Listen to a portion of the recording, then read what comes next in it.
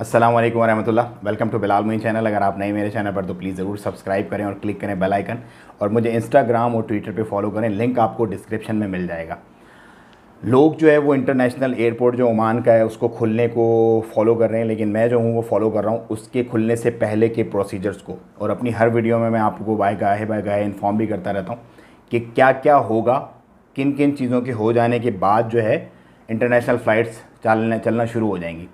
तो आज एक बहुत इंपॉर्टेंट पेशरफ हुई है उस प्रोसेस में जिसको मैं फॉलो कर रहा हूँ। और वो ये हुई है कि मिनिस्टर ऑफ़ ट्रांसपोर्ट है जो उन्होंने अपना प्लान जो है डोमेस्टिक फ़्लाइट्स को ओपन करने का स्पेसिफिक डेट्स के साथ सबमिट कर दिया सुप्रीम कमेटी को। जी हाँ जो प्लान था, जैसे मैंने अपनी पिछली दो वीडियोस में जो बताया था, एक तो दो हफ़्ते पहले वाली और एक कल जो लास्ट वीक मैंने वीडियो डाली थी, उसके अंदर मैंने आपको बता दिया था कि डोमेस्टिक फ़्लाइट्स पहले स्टार्ट होंगी। उसके बाद इंटरनेशनल टेस्ट फ़्लाइट्स होंगी उसके बाद कंप्लीट इंटरनेशनल एयरपोर्ट खुल जाएगा।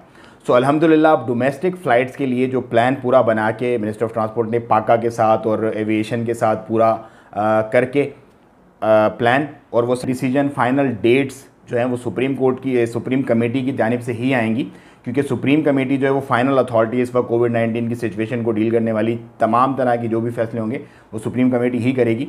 लेकिन जो मिनिस्टर ऑफ़ ट्रांसपोर्ट हैं उन्होंने स्पेसिफिक डेट्स मेंशन करके अपने प्लान उनको सबमिट कर दिया है।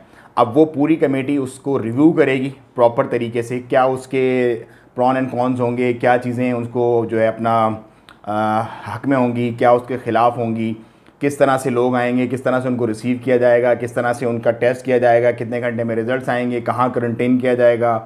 वो पूरा प्रोसीजर वो एक पूरा बहुत बड़ा काम है। तो उसको अभी लुक आफ्टर करेंगे और उसके बाद जो है फिर वो अलाउ कर देंगे इन शाजल डोमेस्टिक फ़्लाइट्स का। इसके बाद फिर हम चेस करेंगे डोमेस्टिक फ़्लाइट्स की क्या रिज़ल्ट आ रहे हैं वायरसेस का क्या इशू चल रहा है फिर इंटरनेशनल फ़्लाइट्स की तरफ़ जाएँगे। तो ये एक अपडेट है।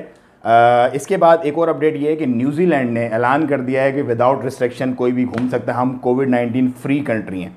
मतलब न्यूजीलैंड ने पहला मुल्क है ये इस वक्त सलवाकिया के बाद सलवानिया के बाद जिसने ऐलान कर दिया कि अब हम भी कोविड नाइन्टीन फ्री हमारा लास्ट पेशेंट जो था वो रिकवर होकर वापस चला गया। तो अलहमदिल्ला अच्छी खबरें आ रही हैं। अल्लाह पाक आसानियाँ फरमाए। हमें भी जिस पीक से हम गुजर रहे हैं, इस पीक से हम निकलें और जल्दी हमारी लाइफ जो है वो रूटीन स्टार्ट हो जाए। मैं लूँगा आपसे इजाज़त, फिर मिलेंगे। अल्लाम वरहमल